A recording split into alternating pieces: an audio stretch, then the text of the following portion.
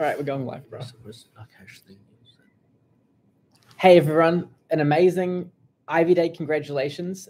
I'm here with our co-founder, Fangzhou. Do you want to introduce yourself, FC? Everyone, um, very exciting uh, news coming in for the last few hours.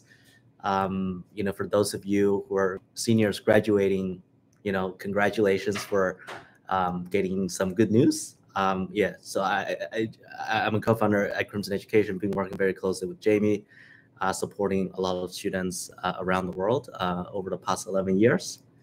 Um, yeah, very exciting here uh, to be here today.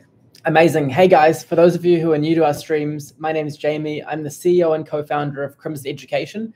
A bit of background, back in high school, I applied to a wide range of US schools, including Harvard, Yale, Princeton, Stanford, Columbia, Wharton, as well as UK schools like Cambridge, got into all of those schools. We then launched Crimson together back in 2013 to guide the best and brightest young minds into these amazing institutions, which have been so transformational in our lives.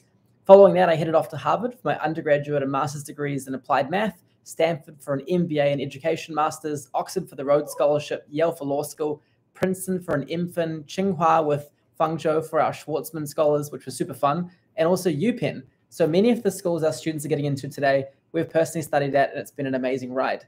Um, FC, do you want to share a bit about your own academic background? Of course. My uh, background, unfortunately, is nowhere near as impressive as Jamie's. Um, I, I, grew up in China, did my um, high school in New Zealand. That's where I met Jamie. Um, fortunately, when I graduated, I was uh, the country's first ever uh, international student to receive uh, the Premier Scholarship, which is the highest academic honor um, in the country, um, received the award in Parliament um, from the Prime Minister. Uh, then did my undergrad in computer science and business on a full scholarship uh, before uh, a master's degree at uh, Stanford Engineering, uh, studying management science and engineering. Um, also got into MIT, Columbia, a bunch of other schools. Uh, following that, I went back to China uh, to do my second fellowship called Schwarzman Scholars alongside Jamie, um, which was very super fun. And then I got the John F. Kennedy Fellowship at Harvard to pursue an MBA as well as an MBA at Stanford Graduate School of Business.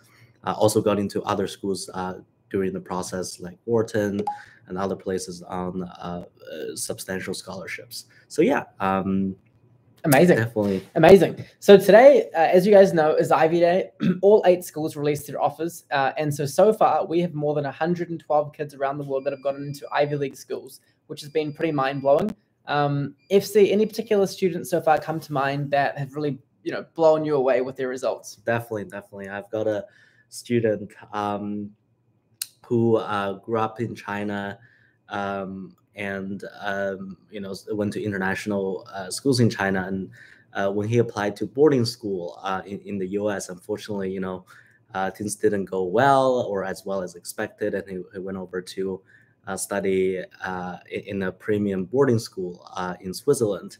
And just now, I was checking with him how he went, and he said, oh, no good news, unfortunately. And I was uh, a little bit uh, shocked. I thought, you know, he got all rejections. And as I dig further, um, he, he was waitlisted by Harvard, but he got into Dartmouth, Duke, um, Northwestern, Johns Hopkins, Vanderbilt, uh, Carnegie Mellon, etc.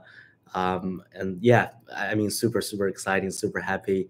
Um, you know, work with him for the last three years, and uh, you know, also you know, alongside Jamie and it's it's super uh, incredible to see uh, the results he's able to uh, receive, and he's also waiting on Stanford, which is coming out uh, in less than 24 hours.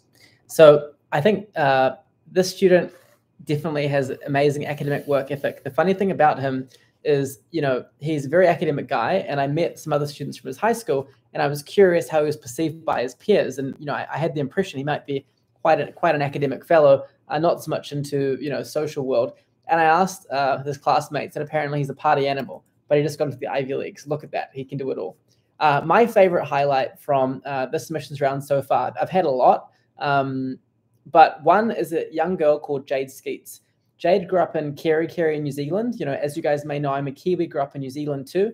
Um, and, you know, Jade initially uh, was at a small public high school and she was doing the national curriculum. She wasn't that fulfilled as far as you know potentially you know all the different um, academic options she had She switched into our Crimson Global Academy, which is an accredited online high school. Uh, she spent three years learning with us, and she just found out today that she got into Columbia University as well as Princeton University, two of the world's best schools, Princeton being the highest ranked college in the world right now on the US News ranking. So it's incredible to see her story of persistence. You know, she's an amazing musician a ballet, um, star. You know, she's really, really fantastic in academics. Worked so hard over all these years, and seeing her results coming to fruition, you know, super inspiring. Uh, and one of the things I do love about the admissions process is, unlike the UK, the US really looks to find unique students that have a narrative that really stands distinct. It could be through extracurriculars, it could be through hardship, it could be through leadership, whatever it is.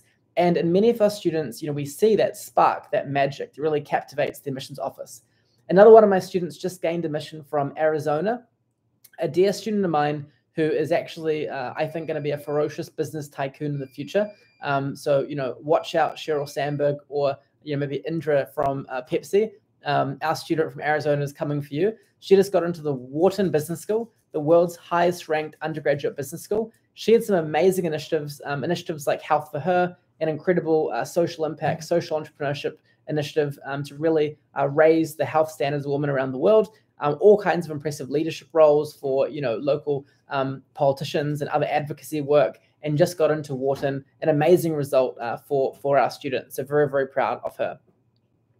So there are a couple of questions we're going to be really dissecting today. Um, everything from you know uh, what are some trends that we're seeing as far as admissions rates, news hot off the different Ivy League schools. You know, what are some trends around affirmative action? How has affirmative action, um, the change really banning the consideration of race, affected admissions in America this cycle? How are things like the SAT, um, you know, test optional, compulsory dynamics changing? What are some of our favorite admission stories from the journey? What are some key learnings? And of course, you guys are welcome to ask any questions you like. We're on both YouTube and Instagram at the moment. So you'll, you know, go go for it, ask anything you like, and we will, you know, answer anything as we go through our wonderful stream today. We're also going to have some fantastic members of the Crimson community jumping in, um, particularly on our Instagram stream, to go ahead and share some insights as well. And you're going to get really a wonderful Ivy Day coverage. Um, so I guess with that, FC, any interesting trends you want to share hot off the press from the 2024 regular admissions round? Absolutely. Um, I think um, you know, uh, one word to describe it is competitive. I, I, I, guess we all know that it is going to be extremely uh, competitive year, given that a lot of the schools or, or many schools uh, reported a, significant increase in the, the admissions. But um, we, we can see schools like uh, Penn, for instance, um, you know, where uh, the, the student from Arizona just got into, um, had 10% increase uh, in the application numbers, reaching all the way to 65,000, which is just incredible. Um, I, I, you know, only a few years ago, right? Penn was only dealing with, uh, you know, 40 or so thousand uh, applicants, and now it's, you know, a, a, much larger number than that.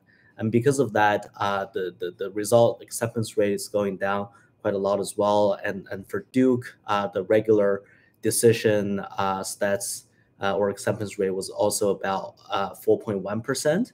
Uh, um, extremely, yeah, pretty much record low as well. So definitely seeing some uh, extremely uh, tough competition out there. What about you? What are your um, top observations, Jamie? Well, one thing that's interesting this year is actually some of the Ivy League schools decreased in acceptance, uh, rather increased in acceptance rates um, for the year. So, uh, for example, um, some of the schools like Harvard had an actually higher emissions, ra- rate for the general round this year this time last year. And some of the reasons for that are idiosyncratic to do with some of the political tension around Harvard, you know, the, the president having to stand down, some of the issues around DEI, the Israel Hamas conflict, uh, and some of the tension that, you know, led to around university presidents in general. Um, but in particular, um, when it comes to Harvard, you know, a lot of kids were applying test optional during COVID waves. And now candidates are tightening up substantially in terms of which schools they're applying to if they don't have those high test scores. So um, there's been some stabilization in Ivy League acceptance rates. Some schools, though, got more competitive. Columbia, for example, we believe hit its record peak selectivity this year, which is you know amazing. Columbia is a hard school to beat, right in the heart of New York City. Absolutely amazing. You know, super fun um, place to be, and amazing if you want to get into like Wall Street, finance, any of that good stuff.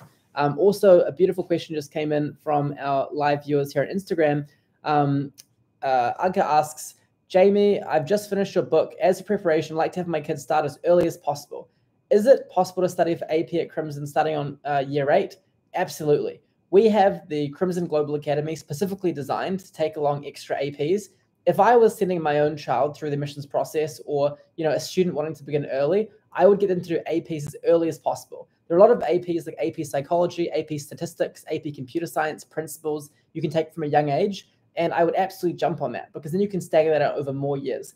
Some of our most legendary Crimson students, like Andrew, who's now uh, almost finishing his time at Harvard, took um, about 15 APs in high school outside of school. And to get those amazing results, you do want to start nice and early. What are your thoughts on that one, FC?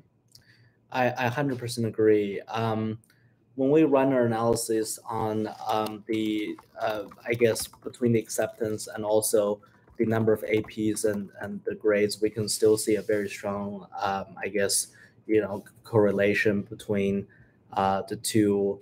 Uh, definitely, uh, assuming that you can maintain very strong academic performance is pretty critical to uh, hit a, a, larger number of APs.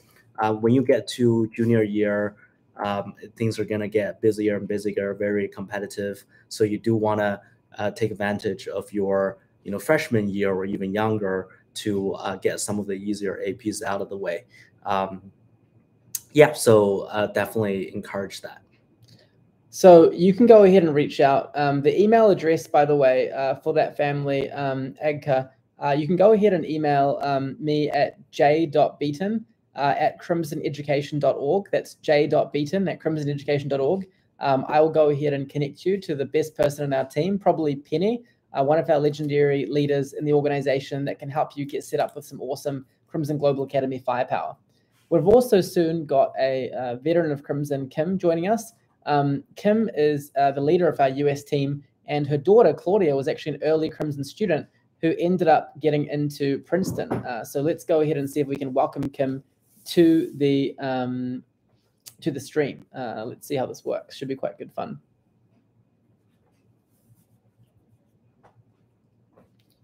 And yeah, to your question, I'll go ahead and type my email here in the chat. So if you do want to uh, jump in, you can. Kim, welcome, welcome, welcome. Hey guys, happy Ivy Day. Happy Ivy Day. Happy Ivy Day. It's like Christmas. It's my favorite day of the year. I ordered cookies yesterday to celebrate. I've been munching them all day. They're dangerously big cookies. I'm gonna have to go for a run. Yeah, it's so exciting. I think as, as you guys both know, uh, you really do get to know these students along the way. And there's this nervousness you have for them, even though, you know, they're well prepared and they put all the work in and you're counting down to, um, in our case, on the East Coast of the US, 7 p.m. And uh, just, I don't know, it was like magic watching these lives being changed one after the other after the other. So it's very exciting. No, it's yeah, absolutely incredible. I mean, especially some of these students who join us when they're, I think of my student in Australia who joined us when she was nine. You know Oh, that, wow. you know, incredible. And um, I was so proud of her recently. She got a uh, awesome John Locke Award, um, John Locke Jr. Uh, second in the world, and John Locke Jr. Incredible, incredible, incredible uh, results. But yeah, uh, it's really cool because this is a process which rewards compounding and starting early. Um, you know, we had Yeah. someone just mention in the chat, for example, that um, you know she wanted to get a, you know, her I think her child getting started with APs nice and early. Love the strategy. So, uh, any particular interesting trends you've spotted, FC? I know you've been closely monitoring emission stats coming in hot off the press worldwide. Um, you know, particularly tapping into the the hardcore world of WeChat, which is deep when it comes to emissions data from our uh, Chinese team. Go for it, FC. Any any hot trends? Um, I mean, uh, I guess um, as uh, the, the, the the results unveils, we will see more and more interesting information. But I guess um, for a lot of the schools uh, that used to be safety schools, I think they're no longer really uh, safety schools. Uh, you know, in, in recent years, um, I, I remember my conversation with. Um, one one of my um, uh, families, um, the dad who went to MIT, uh, and when I recommended um, Tufts to uh, his daughter, and um, and he was like, you know, no, absolutely not, right? Like, you know, Tufts is uh, you know, a safety of the safety. I'm like, look, like look at guess what the acceptance rate for Tufts is this year, and it was like maybe I don't know, 45 percent, and you know, it's 10 percent, right? So um, although you know it's it's been competitive like that for the last couple of years, but you know it's it's still pretty um, important to realize that uh, how competitive uh, you know these schools in Boston, right? Like in particular, uh, got, and also same goes with Northeastern. Almost had almost a little bit, uh, just a, a, little over 1,000 shy from 100,000 applicants this year, uh, which is just incredible. So, um, yeah, there are many kind of interesting uh, insights, um, you know, that we've put together. And I guess as we uh, progress, we'll uh, share our uh, our our view. Um, but I guess you know right now, if you know if you're watching, if you have an offer, you know definitely celebrate you know given that you're one of the you know very uh, small group of uh, students that have that great news. But uh, if you're you know preparing for um, college applications uh, in the coming years um, i think it's critical critical to um, really understand uh, the evolving kind of profile that these top colleges are looking for. Um, i definitely think there's a growing need to um, really establish that point of differentiation because I feel like it's definitely harder and harder to um, really um, you know stand out from the rest of the application pool. And I guess you know from a micro perspective, we see uh, students with uh, especially students who are interested in STEM and business. We see an increasing uh, number of students uh, with uh, very solid humanities um, you know do well when your main uh, interest is STEM or business. Um, for for those who are only uh, you know who only care about STEM or who only uh, uh is passionate about business, uh, I think it's getting tougher uh, given that um, lack of balance in the holistic evaluation process and also I guess sort of the fit between their profile and uh, what liberal arts education uh, really represents. But yeah, so if you have like a very solid uh, humanities angle, uh, good exposure, especially in literature, in classics, in you know other different languages, uh, that will help you go a long way, even when you're applying uh, for computer science or, or, or business or other very competitive majors. So, Kim, I know you're excited about a couple of students that have just gotten hot off the press. You've you've, you've been studying. You know, uh, tell us some examples. Any amazing stories? Yeah, I've got, I've got quite a few tonight. Um, one student in particular who we've been working with, as you said, Jamie, since I think uh, uh, it was even before freshman year, so uh, I think grade eight. Um, and this was a student who uh, a very, I guess you would say, shy student at the time, um, very softly spoken. And over the years, just watching her come out of her shell. And at the beginning, I don't think she was even capable of applying to an Ivies. And tonight, she actually got into Brown and Columbia. So I'm personally excited about that one. Um, but there are so many. I'm going to get on the phone tonight and talk to a couple of families just to congratulate them personally. And, and um, yeah, I know that even more news will be coming in tomorrow. wow. So pretty. Guys, guys, guys, one of our students just got into the UPenn Huntsman program and Cornell and NYU and UCLA. That is super insane. So to give you guys some context, um, the Huntsman program is the most selective dual degree program uh, in the world, actually. Um, it, it's a combined program, international studies and business at the Wharton Business School um, at UPenn. And this is really uh, awesome because it combines the target language, business, international studies. A lot of folks get into Wall Street, get into the United Nations, etc. We've now sent, um, we've had more than 11 offers just from the Huntsman program. One of my students, Charlotte, is a graduate of the Huntsman program, is now working at McKinsey.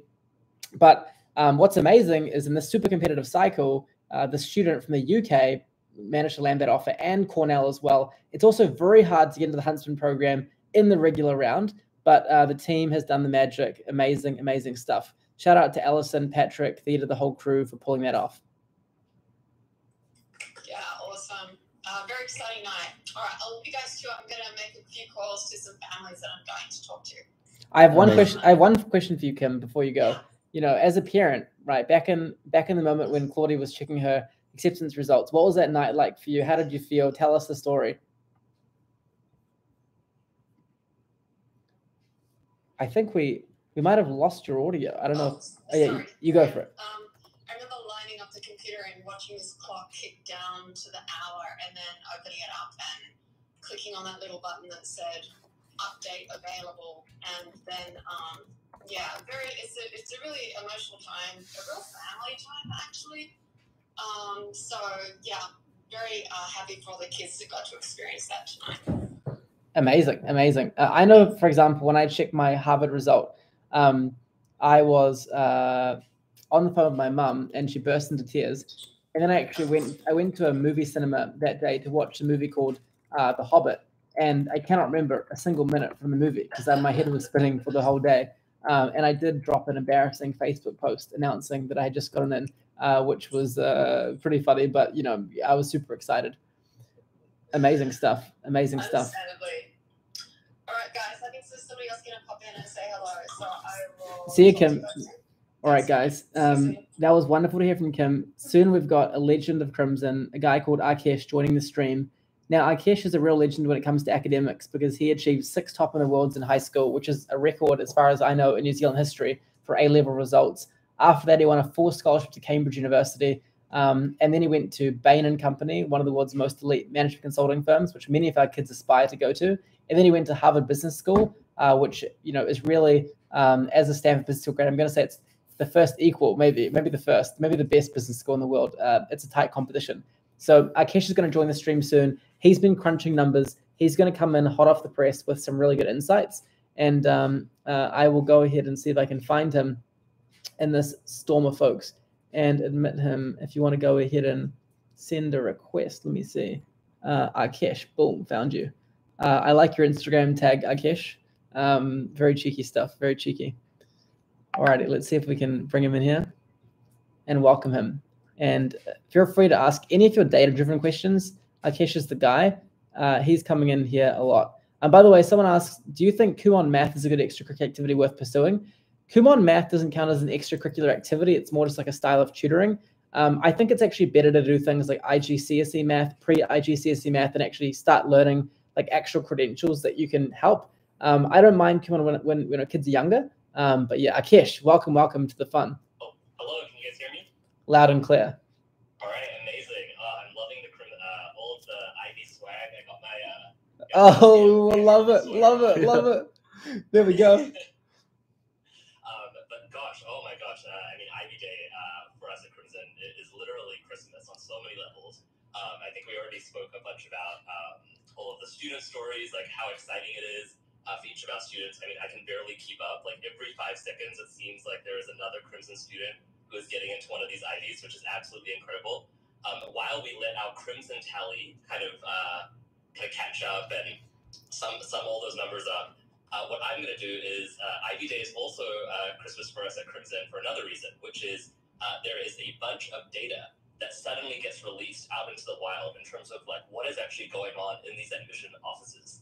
Um, and so I am very excited uh, to share uh, a little bit in terms of what's going on. Uh, one interesting tidbit before I jump in, though, is that um, generally universities are reporting less and less data.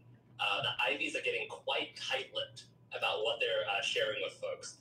Um, it's interesting. Princeton's dean of admissions, uh, Karen Richardson, a couple years ago, said that uh, they don't want to discourage prospective students from applying to some of these universities um, by sharing some of these statistics that make them seem so selective. Um, I think we take a pretty different view of this at Crimson. You know, we want to get every single piece of data out there that we can possibly get our hands on, um, so that all of you have uh, the absolute uh, best information out there as you make decisions uh, for next cycle, maybe the the cycle following, maybe if you're waitlisted. Um, I think more information is always better. So, um, so guys, are you ready for me to share uh, some of uh, some some of the insights that I've managed to glean? Like I said, there isn't a lot of data out there, but I've managed to get my hands You- on as much as I can. You hit it, Akesh. And by the way, for our YouTube viewers, feel free to go ahead and join us on the Crimson Education Instagram so you can hear from our special guests like Akesh sharing their insights. We're going to, of course, be getting back into our regular content with FC and I, but um, for the moment, we're going to be listening to Akesh's hot of the press data. Over to you, Akesh. All right, amazing. Insights gleaned. Um, so the first is I know today is Ivy Day, um, but I actually want to talk about a school that isn't technically designated an Ivy school. Um, I think it, it doesn't have the technical designation of being an Ivy, but I truly believe it deserves to be right up there. Um, and I think I see FCU have some Stanford swag on. It's not Stanford. I know you're going to jump in there and say it's probably Stanford that I want to talk about. Everyone hold your horses on Stanford. That's tomorrow, right? Um, the school I want to talk about today is uh, is Duke. And wow. these guys, uh, Jamie and FC, are big fans of Duke. Um, and this was um, a stellar year for Duke, um, and on a couple of different levels that I'll share. And by the way, Duke's results came out today on Ivy Day, um, so I think they recognize their place in the universe, and rightly so, released their results on uh, on this special day. I love that. Um, yeah, they, they, know, they know who they're playing with. You know, they're punching above their weight, and they belong in this class. And let me tell you why. So we had early indications that Duke really belongs in this class of Ivy League schools uh, for a couple of reasons. In the early round, um, applications went up a dramatic 29%, right? So in a year on year, so just from last year, suddenly you know, 30% more people were applying wow. to Duke, which is absolutely That's insane. crazy. Their early round acceptance rate actually fell to 13%, which is lower than several Ivies. So they actually beat out Brown and Dartmouth in the early round in terms of how selective they were. Um, and this immediately piqued my interest. I was like, okay, I got to see what Duke's going to do on Ivy Day. Um, and it's pretty fascinating. So the regular round also saw a surge in applications not as much as 30%, so not as crazy as that, but they did see 8% uptick in wow. the number of applications in regular round from last year. Um, and so what does that mean for Duke, right? Uh, I think FC mentioned this earlier, but their overall acceptance rate was a record low of 5.1% in 2024. They actually beat out Brown for the first time ever, right? So Brown was just a little bit higher than that in terms of the acceptance rate. So this is an incredibly selective school, um, very much beating out, you know, at least Brown, maybe a couple other Ivies as well. Um, and the amount of interest even we see at Crimson uh, from parents, from students for Duke as a university um, is entirely consistent, I think, with the data that we're seeing here. Um, so Duke certainly deserves that Ivy designation, um, is what I'm seeing. One thing that I love about Duke, right, is they have merit-based scholarships, which is a huge deal because you can, if, if you just hustle hard, you know, become an amazing profile, you can actually go to college for free through things like the Robertson Scholarship, um, which is an amazing full ride scholarship. We've sent many kids there you know, folks like Gia, who's now at McKinsey New York, or Antonia, um, uh, Duncan Parsons, another good example, an amazing entrepreneur out of California, um, building an awesome business. Duke actually is playing to win. Uh, and they get kids from other Ivy League schools like Harvard, Stanford, Yale, Princeton by um, offering those merit-based scholarships, uh, like for example the Robertson, the Cash, many other things, the Morehead. These are great uh, ways to make it happen. I was there recently visiting my student uh, Gia, and they have this ridiculous dining hall that is like I think it was two hundred million dollars. Get sushi, you can get ice cream, you can get you know this like hardcore Chipotle competitor Mexican. It's really quite delicious and it's very you know very impressive stuff. Uh, not a bad place at all. It's kind of like Stanford meets Yale is how I would describe Duke's campus. I think that's a great way to describe it. It has the Gothic architecture, right, of Yale, but it just has the the uh, the scale, right, the scale of that campus in Durham, uh, which is absolutely incredible. So anyway, it sounds like we're all big fans of Duke. We recognize its rightful place in the world, um, and we're certainly seeing at Crimson a ton of interest for that school, and we fully support it. So that's the first thing that I thought was really interesting is just that surge in applications and that record low acceptance. Um, second thing that I want to touch on, I want to go to, you know, I just talked about a school that doesn't technically have that Ivy designation. There's a school out there that definitely has that Ivy designation, and that's Harvard. I see a lot of Harvard swag um, uh, right now on the screen in front of me with Jamie and FC um, you know, all three of us that actually uh, either attended, have attended the school. So I know it has a, a, a very dear place in all of our hearts. Um, but Harvard's gone through a lot this year, right? Um, and I think we saw that in the early round. So uh, pretty shockingly, in the early round, we saw the number of applications drop by 17%. Again, these like double digit numbers I'm talking about, like Duke going up by 29%, Harvard coming down by 17%. That's not a normal admission cycle. Um, there's pretty crazy stuff going on out there uh, which is why we're like keenly trying to analyze all of this data. Um, so 17% drop in applications in the early round.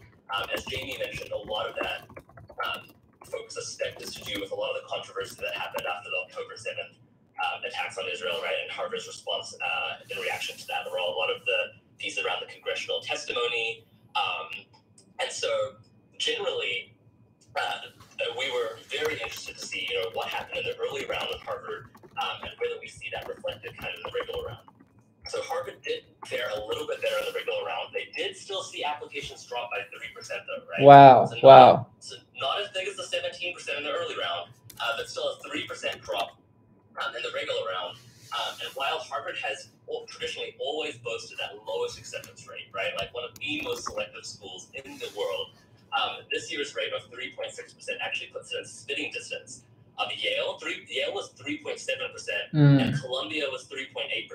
So suddenly you're taking a school that has always been like, you know, markedly different in terms of selectivity, and now it's kind of clumped in with Yale and Columbia, um, which is pretty fascinating to see. And so this is a trend that's been going over, over the last two years, where Harvard's total applications have come down ever so slightly. The acceptance rate has been ticking up a little bit. Um, and it'll be interesting to see if this trend like continues in future years, um, or whether we're going to see some stabilization here as well. Um, so very interesting stuff coming in uh, coming in from Harvard. I always thought that uh, you know these universities at the top end are almost bulletproof. You know, you see technology companies rise and fall, like Intel, for example. You know, the rise of Nvidia. Um, but these top universities are such entrenched players where the alumni wanted to do well, the professors wanted to do well, the students wanted to do well. Uh, a lot of the you know leading presidents or you know political figures went to these schools, and so it's very hard to dislodge them. But Harvard's definitely taken a lot of missiles this year, but still great to see that amazing selectivity. And the students we're seeing getting in are absolutely incredible. We just had a student, Slayton, get into Harvard and Duke for neuroscience. Huge shout out to you, Slayton. Very, very awesome. Um, yeah, that's, that's, incredible. I mean, Harvard still is, is number one, right, uh, in terms of selectivity. Like, you know, it, you know, you may have a couple of those others kind of get uh, closer in terms of selectivity, right? Like I mentioned, Yale, Columbia, uh, but Harvard still got that 3.6% kind of uh, admissions rate, which means that they're getting the cream of the crop. And so um, nothing is really changing there. And uh, it's going to be an interesting, um, interesting to see the events kind of continue to unfold uh, with Harvard um, and just the place that it has on the world stage curious anyone in our listeners right now live anyone you know hear back from schools today anyone actually get a harvard or a duke offer? Uh, a very rare kettle of fish. Throw in any mission stories we'd love to hear them uh, whatever they are. We'll give you some tips whether we need to get you off that wait list or you know you want advice on harvard's dining hall. We're, we're here for it. Uh, back to you Aakesh yeah no, great. Um, all right so uh, I, I mentioned that i'm currently wearing some harvard swag I purchased this Harvard swag actually for my first Harvard Yale uh, football game. Right, that was that was the time where I realized like, all right, I, re- I really need to break out like my Harvard pride. Um, so it is natural for me to touch on Yale next. Right, that rivalry is fierce, um, and there's some interesting things going on uh, with Yale this year. So we actually didn't see a big change um, year on year in terms of their early round applications. So about the same number of students were applying in the early round to Yale. However, interestingly, Yale decided to reduce the size of their early round class by about 100 students, which is quite significant for an early round, right? Early round, you typically take about a third of your students. So in Yale's case, that's around 700. So going from a class, you know, an early round class size of 800 to 700 um, is fairly significant. And so the early acceptance rate did drop. Um, we saw a similar thing happen in the regular round. So Yale is actually contracting the size of its overall class. Um, and that is a big contributor to the reason why it's getting a lot more selective. And so uh, Yale reduced its overall class size by 6% this year, right? Which is uh, pretty significant, like, you know, year on year.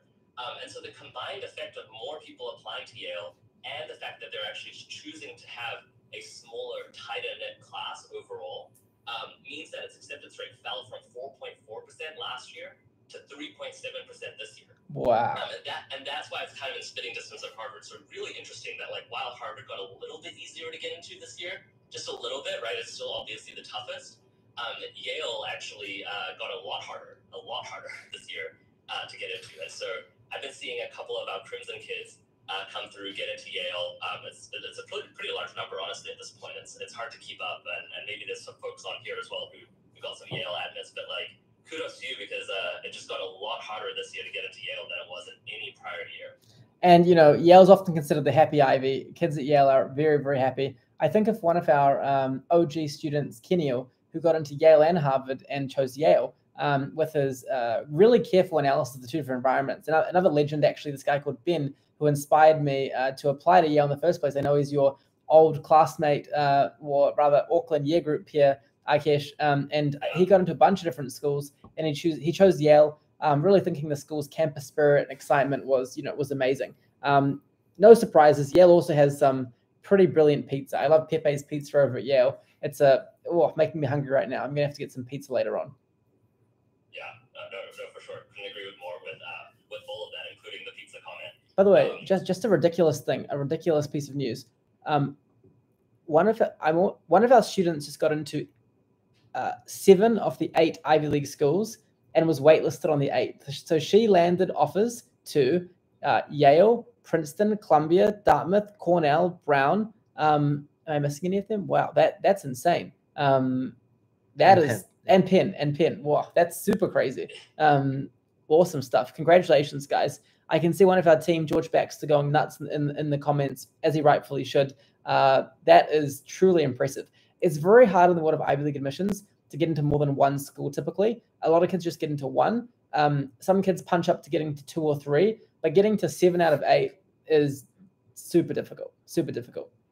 Yeah, I, think just, just looking at the numbers here, I mean, like the numbers we're talking about per school, you know, 3.6% admit rate for Harvard, 3.7% for Yale, 3.8 for Columbia, 5.2 for Brown. Like the math, just like the, the math for that student to get into seven out of the eight, um, you just don't see sweeps like that as often these days with these record low admit rates, right? The ability to get into the majority of the Ivy League, um, is, like outstanding. I don't even. I don't even know what else to say to, to that result, frankly. Um, so just like huge congratulations uh, uh, over, over there because uh, wow. By the way, uh, we're gonna bring we're gonna bring in George, who knows the student who just got into seven Ivy League schools and got waitlisted. He's coming along. Uh, he's going to share some hot insights. I don't know where he is on this lovely Thursday night at ten o'clock, um, but he's coming in. He's coming here for you guys, uh, and he's going to give some insights. Very cool. Amazing. Very cool. Right. Very cool. Is George ready to come in? Uh, I think he'll join the party, Akesh. Um, but um, I'll, I'll I'll let you know when it pops up on the screen. Okay. Yeah, okay, yeah, well, yeah. Why, why don't I hit you guys with one final comment? Uh, Um, go for it. comment, Drop some knowledge. Yeah, yeah. This this one I know everyone has uh, somewhere in the either in the back of their mind, in the front of their mind. Um, it's hard to ignore, which is everything that happened over the last six to twelve months um, in terms of affirmative action um, and the Supreme Court ruling. Right. I think um, it is an incredibly turbulent time as it uh, as it pertains to. Um, race in general, race, uh, you know, wh- whether that can be used as an admissions criteria, how that's going to impact the composition of class sizes these days. Um, so a couple interesting tidbits. So Harvard, in a break from president, for the first time in history, has decided that they will not be releasing any racial and ethnic data um, on Ivy Day. And so uh, there are a lot of reasons uh, that people may suspect for this. One is that the admissions office actually did not have any information um, on the race of any of the applicants that applied, right? So that information was completely removed uh, from all applicants uh, starting this year. Um, but of course, the university is also increasingly wary of, um, of litigation from anti-affirmative action groups, right? And so uh, certainly the school is quite wary of releasing this data. It, it is going to come eventually in the summer. We don't have a ton of it right now. Um, we do have some stats that have come through, right? And so, for example, Harvard mentioned that in its early round, uh, close to 16% of accepted applicants came from a first generation background. That was an increase uh, from the year prior, right? A 1.5 percentage point increase from the year prior. You see these schools like Harvard, Yale, the Ivies really working hard to reach out to students of all backgrounds, of all diversity. Um, that was an immediate reaction that all of the schools made once this ruling came out in June of last year. Um, but in terms of how that's actually impacting the composition of the class, of the class sizes um, and the distribution, and the makeup, uh, that's yet to be seen at least for a couple of months. Um, there was a lot of interesting stuff that went down uh, during that Supreme Court ruling, right? So, I mean, Harvard brought in a Nobel Prize winning economist, uh, David Card, who did a bunch of simulations for them and showed that, um, you know, if race was removed completely from the admissions process, then the size of the African American student group within Harvard would have halved, right? And that was what Harvard brought in as kind of the expert witness. Um, it's the, I guess we'll see kind of, you know, once the summer comes around and once the data fully gets released, whether that actually plays out or have these schools been able to actually figure out means and ways uh, to reach out to these students. You know, Harvard, Yale both changed a lot of their essay questions in response to the ruling as well to really get a better understanding of a student's background without actually having them designate their race on an application. So these universities are smart. Um, they really want to get that diversity. And it's going to be really interesting to see whether they um, whether the class tra- uh, class uh, composition changes or not. Um, all right, I'm going to leave you guys with that. Um, because I know it's going to be exciting to dig into this next student story, right? Um, Thanks so much, Akesh. Amazing. And as one Harvard grad leaves, another arrives with George Baxter, one of the legends of Crimson. Welcome, welcome. there's, there's, there's, too much Harvard on this call, so I'm going to leave you guys to it. Thanks, Akesh. Thank you. Great to be here, team. Um, yeah, wow, what wonderful news. I literally just found out at the same time as you guys did that uh, my student, Unisa, has just gotten into every single Ivy League except for one she got waitlisted at Harvard, which is uh, ever so slightly devastating considering all about Get Up right now. Um, yeah, what incredible news! What incredible news! She, um, what can I say? She put together a quite outstanding application. But really, do you know what? It was a testament to like the, the, the very detailed work that we did together, right? Like coming into the multiple meetings that we had with her and, and and, and, and figuring out exactly how we're going to describe her activities, exactly how we're going to order them, exactly how we're going to cover all of who she is through the essays, making sure that we get that coverage. Um, I, we worked so meticulously on this to ensure that she that she that she got in. So you know, wow, what, what an honor! Incredible, George. T- tell us a bit. Tell us a bit about you know any particular candidacy highlights, anything on the extracurriculars, honors, academics that you know particularly you think is spicy, or the essays. I know our audience is super fascinated. What does it take in 2024 to get into seven Ivy League schools? Yeah, what does it take? Um, well, academically, she was just stellar, no doubt about it. She was, you know, taking the most rigorous courses that she could at school. Um, she went to a, a public high school in Illinois, so there was a certain limit to what she could take academically at school. So, given that she was a very talented student and, and wanted to do more, she, you know, she took local college classes and was supplementing her education at school with other with other things. Um, her her extracurricular activity list um, was just packed full of leadership right? I think for her in particular, I think her top six or seven activities had some kind of leadership position or even her own creation, right? So, um, you know, I think that's what I noticed with her, you know, just how, how can we show to these universities that we're going to be somebody that's going to be an influencer on campus, so to speak, right? Somebody that's going to make change happen on campus. So there's no doubt that she was able to present that. And also, uh, you know, her, her main her main goal was to study public policy or to be a public to be a policymaker. So she she took you know she took note of a few different things that she really cared about. Um, she was particularly interested in oh, what was the name of that? It was something about um, it was it was something about like free. Um, it was uh, what was it? It was about um, being able to academic freedom and, and, and, and sharing um, academically. I, I, I, wish I could remember off the top of my head what it was, but it was something that she really cared about and she made really a, a key part of her, her application.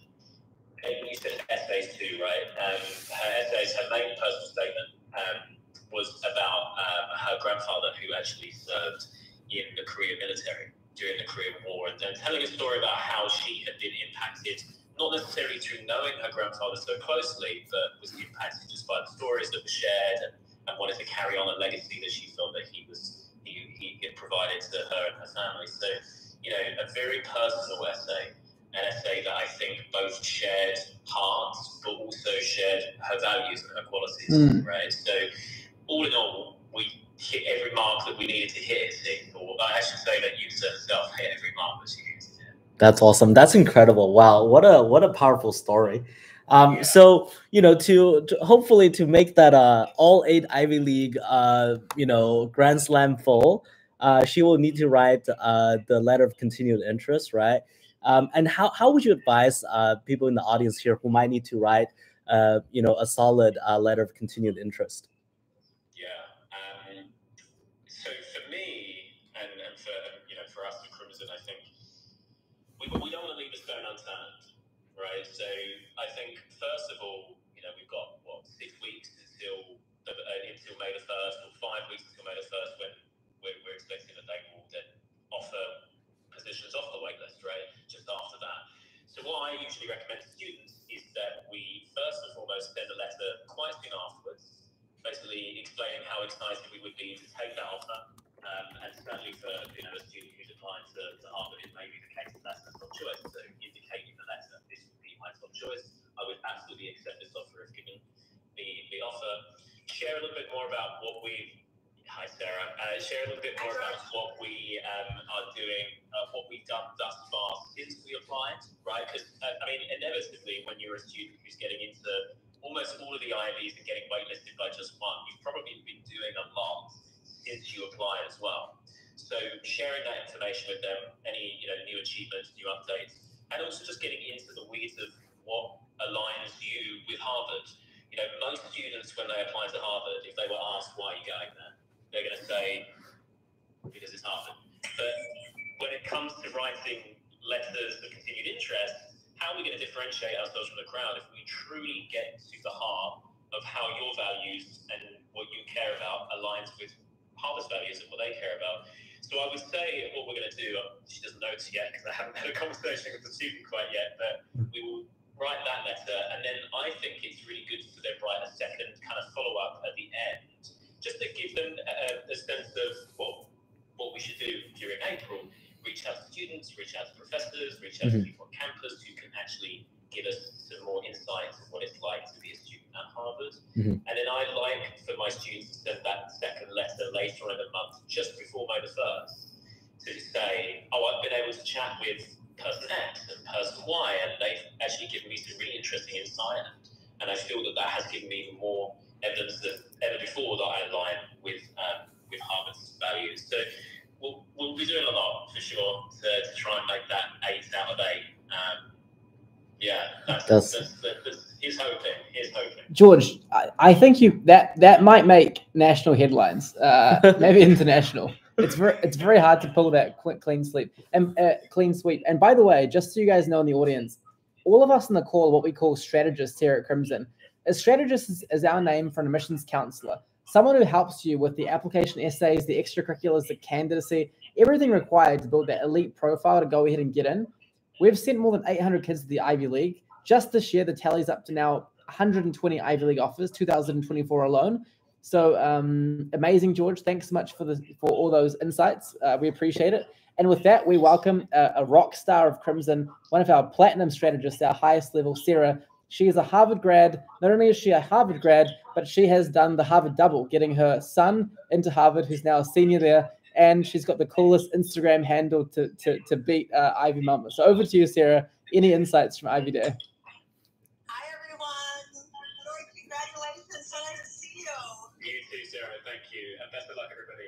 So excited to see more offers roll through. Thank you, George. See you, George. Have a good night, mate. Thank you. Enjoy the fun as Jamie said. Hi, Jamie. Hi, Fangzhou. I Hi. but I, I, I promise to everyone uh, in the audience, we, we didn't really uh, stage this, but you know, happen every uh, guest so far who happened to join us uh, is is uh, a graduate from Harvard. That's uh that's just incredible. Um, especially double Harvard. That's uh that's that's amazing, Sarah.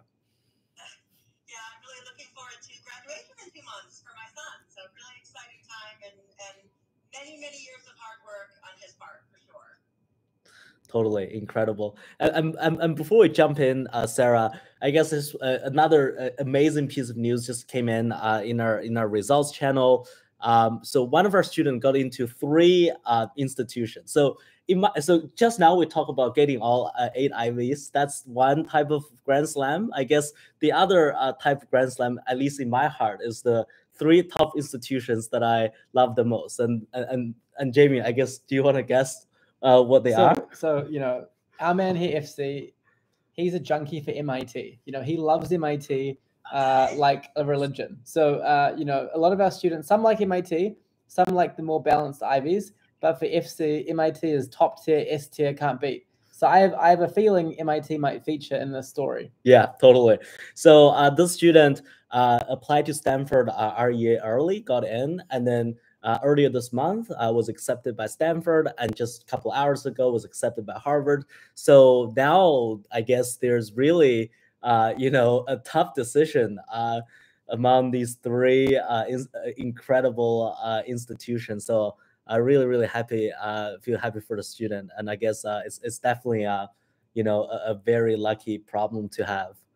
How how would you? It, cer- it, it certainly is. I mean, when we have that kind of privilege and, and that kind of um, decision to make, and um, I actually got some exciting news from one of my students, and we're going to chat tomorrow morning because he has a similar dilemma, if you will, choosing between Stanford, to which he was accepted in the RA round, Columbia, and Penn. Um, and so, you know, again, a nice problem to have. Um, and at that point, you can't go wrong with any decision. You have to really dig into the, the weeds about, you know, the program and the particular professors, as well as the quality of life and the culture at the campus Yeah. and the particular school. Because again, academically, you can't go wrong with any of those choices. So that's certainly what my student and I are going to talk about. And and FC, and your um, example of MIT and Harvard, certainly different schools, not too far away from each other, of Yeah. course, um, but definitely different vibes and different campus culture. Um, and it's great for students to consider what do I want my typical day to be like and feel like on these campuses and, and sort of use that to guide the decision as well as the more hardcore academics. Definitely that. I, I guess uh, for those of you who are holding multiple offers, uh, one of the very important opportunities to take advantage of is the admitted student weekend day, uh, weekend or or day, uh, depending on which school uh, you get admitted to. Uh, use that opportunity, really be on campus, meet your future professors and your future classmates, um, and then that will give you a much better idea, um, the, you know, on the people and the environment that you're going to spend a lot of time with. Um, I guess that's also yeah something that a lot of our students ask us uh, when they do have some, uh, especially close options on hand. Yeah, absolutely. I mean, Harvard really pulls out all the stops for Visitas. Um, lots of fun there, and I know the students on campus really love showing off, you know, the activities and what makes Harvard so unique. Um, and I think there really is no substitute for that visceral reaction you get when you set foot on campus. Even if you visited before as a prospective student, just really taking a look at it again through a different lens as someone who's been accepted to the school is really valuable and a great way to make that decision. Incredible, totally. What what what what are the most um, you know your favorite stories um, you know with students this admission cycle? Oh gosh, I have so many. Um, I have to admit, I've, I've shed a few tears and my eyes are red. It's because I've been so so pumped tonight. I got a FaceTime call from one of my favorite students and her entire extended family, um, which which really warmed my heart. And she got into Penn, got into Duke, got into Georgetown, got into Wesleyan, got into and Mary. Um, an incredibly talented poet. Um, and and so as the, the English major in me, that really did make me feel great that someone in the humanities who really has an exceptional talent can can get an offer from some of these top schools. Um, so that was a really rewarding story for me. And then I have another student, um, my student from California, who again has Stanford, Columbia, and Penn to choose from. Um, he was just such a humble. He is such a humble young man, and it it was all I could do to even convince him to apply to his dream school in the early round. And I remember just that look of trepidation and pure fear when he clicked submit with me on the on the call on our Zoom call, and it, and it came through um, for him. And you know, I, I've seen him grow in his confidence through this journey from that you know very humble and reluctant young young man who could submit in the early action round to someone who is still humble and, and, and lovely in that way, but um, he's he's got a lot more confidence and he knows he belongs at these universities. He truly earned his spot. He has got such a nuanced perception and understanding of political science and has such a huge heart um, that he's going to make such a vast contribution to whichever school is lucky enough to enroll him. Mm, totally.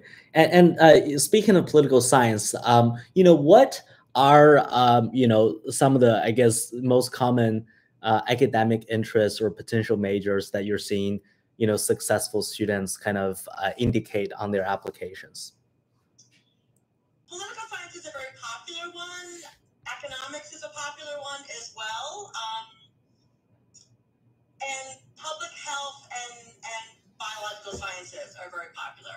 But again, you know, with all my students, I always try to come up with some sort of niche or, you know, maybe interdisciplinary angle. Um, and, and that's something, you know, that I, I really enjoy trying to, to identify for my students. So we try to make it a little bit more unique than just applying to some of those really popular oversaturated majors. But again, you know, sometimes to apply to that major and, and, and certainly, you know, that's an authentic approach that I support as well. For sure. And some people ask, um, you know, because they really struggle to uh, make a choice. They, you know, they, they feel very tempted to uh, put, you know, undecided um, uh, on their application. How, how do you see that? Well, whenever possible, I advise them to at least identify some area of academic interest that aligns with their profile. Um, I haven't had any problems doing that with my students. They all seem to be naturally passionate about something. And so I have a lot of, of a lot of um, interest to work with. And so we're always able to identify something on that application. Mhm. Um, it shows admissions officers that there's there's an area there Definitely. want to pursue. Definitely, definitely. I hundred percent agree. I think Jamie has a, also very has a very strong opinion on this. But I, I guess personally, um, I, I feel that it's critical when you apply to colleges to really share a vision, right? Yeah. You know, what what are you hoping to achieve? What kind of difference you're hoping to make? By the way, And guys, I have to yeah. interrupt you. We just hit 140 Ivy League offers. Um, amazing stuff. The new, we uh, that's that's a that's a record for us by quite a big margin actually for this year. And we're actually up to 141 now. Um, and uh, you know we haven't even heard from Stanford yet. Very very exciting stuff. Sorry, you, you go back to FC. Oh yeah, um, in- incredible. I, I guess um, you know while we're on this topic, uh, we have someone who just got into uh, the Barnard Columbia Engineering Program um, on a scholarship, which is incredible. Somebody from California getting into uh, Penn, Pomona, USC, Georgetown, CMC, uh, etc. Um, yeah, that that's awesome. You know, we've got somebody from China getting into NYU for engineering. Actually, two of them uh, getting into NYU engineering from China. Uh, somebody from Japan getting into Rice, Cornell, uh, et cetera, et cetera. So yeah, it's um, it, it- one more Columbia here, another one from the West Coast getting to Columbia and Penn, um, another student from China getting to Princeton, Emory. Um, yeah, it's uh, that that's basically you know the results just over the last uh, little uh, I guess you know little while when we were having our you know fun conversations.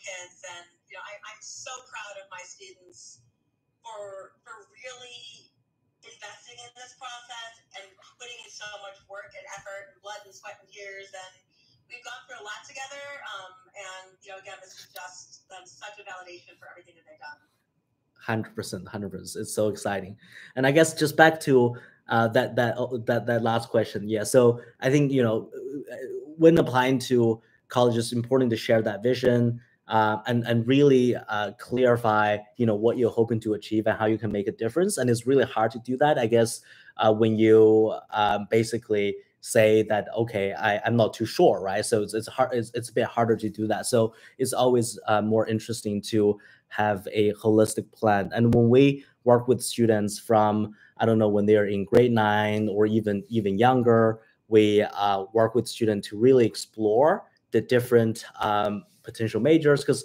many people kind of come in, they know um, the common ones like math or business, economics, or um, you know history or something like that. But you know, few of them really had a lot of exposure to you know science technology and society for example health and society um, or i don't know urban studies or uh, gender studies et cetera et cetera so uh, we we work with students to help them explore and really uh, become more and more uh, I guess proficient uh, in a field that they feel they, they identify to have some passionate uh, passion, and then gradually really deepen that uh, expertise and, and have, have a very clearly defined uh, value proposition. And I think that that that that- that's usually a lot more memorable uh, in the Yeah. application process. it's a really important important part of the process. I mean, so much of college admissions is about the, that that um, promise of potential um, in a student. It's not just what a student has done in high school. It's admissions officers projecting um, that capacity to excel in college and beyond. So, um, oh my goodness, we have a new. This is uh, this is Lola. She's a, a big fan of Columbia, and she decided to join the stream.